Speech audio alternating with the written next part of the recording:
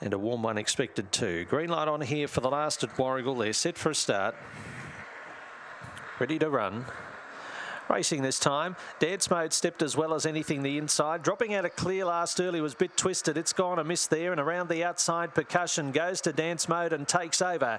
They've raced by three to Enraged under his spell. Centerfield JJ Lopez. Hurricane Miami. Three links. She's Roses tailed off. Bit twisted. They turn across the track. Enraged gets the run. Grabs Percussion and Enraged pulls away to win. Second and third they're lining up. Dance mode out wide. Flashing through JJ Lopez. Percussion the inside Just off those runners then under his spell. Further back, Hurricane Miami, She's Roses, and Bit Twisted tailed off in 22 and 94.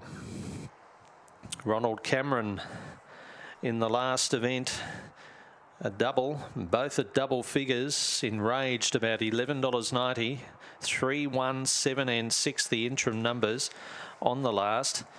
Three, one, seven, and six. So a uh, RS Inbox trifecta here in the last. Enraged at about eleven dollars ninety. She has it uh, won at thirty-two dollars earlier. We had that in for second, and we had enraged in for third.